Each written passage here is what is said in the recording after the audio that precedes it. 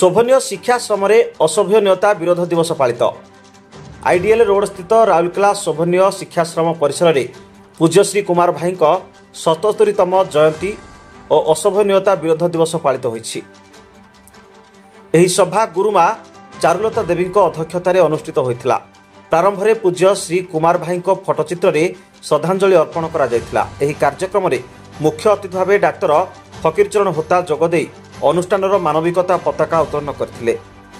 ଏହାପରେ ସମସ୍ତେ ସର୍ବଧର୍ମ ସମନ୍ୱୟ ପ୍ରାର୍ଥନାରେ ଯୋଗ ଦେଇଥିଲେ। ପୂଜ୍ୟଶ୍ରୀ କୁମାର ଭାଇଙ୍କ ରଚିତ ଲେଖା ଚିନ୍ତା ଦର୍ଶନ ଓ ତାଙ୍କ ଦ୍ୱାରା ପ୍ରତିଷ୍ଠିତ ଶୋଭନୀୟ ଶିକ୍ଷାଶ୍ରମ ସମାଜର ମଙ୍ଗଳ ପାଇଁ ଉଦ୍ଦିଷ୍ଟ ବୋଲି ମୁଖ୍ୟ ଅତିଥି ଡାକ୍ତର ହୋତା ତାଙ୍କ ବକ୍ତବ୍ୟରେ କହିଥିଲେ। ସମ୍ମାନିତ ଅତିଥି ଭାବେ ବରିଷ୍ଠ ଶିକ୍ଷକ ପ୍ରତାପ ଚନ୍ଦ୍ର ନାୟକ ସାମ୍ବାଦିକ ସରୋଜ ବେହେରା ଯୋଗ ଦେଇଥିଲେ। ଏହି ଦିବସ ଉପଲକ୍ଷେ ସୁନାପର୍ବତ ସରକାରୀ ଉଚ୍ଚ ବିଦ୍ୟାଳୟରେ ଏକ ସଭା ଅନୁଷ୍ଠିତ ହୋଇଥିଲା ଏହି ସଭାରେ ଅନ୍ୟମାନଙ୍କ ମଧ୍ୟରେ ଗୁରୁମା ଜୟଶ୍ରୀ ସରସ୍ୱତୀ ଲାଛ ଯଶୋଦା ପ୍ରମୁଖ ସକ୍ରିୟ ସହଯୋଗ କରିଥିଲେ। ଲାଠିକଟାରୁ ସରୋଜ ବେହେରାଙ୍କ ରିପୋର୍ଟ ଏନ୍ଟିଭି ଓଡ଼ିଆ।